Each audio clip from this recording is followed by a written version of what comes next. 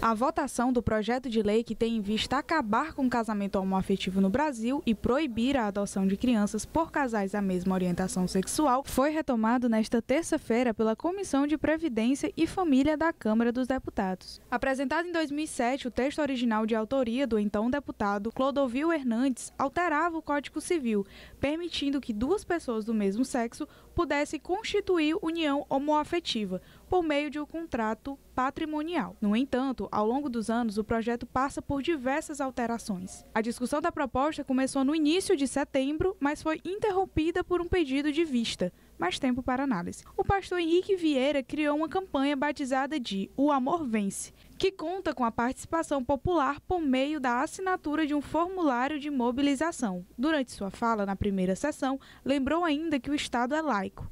Esse tipo de discurso não tem compaixão, não tem sensibilidade, não tem empatia, não tem solidariedade e não tem amor. Existe um ambiente de hostilidade, de violação, de violência, violência e homicídio motivado por ódio.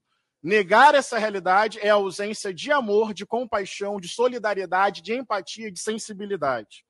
Além disso, o Estado é laico.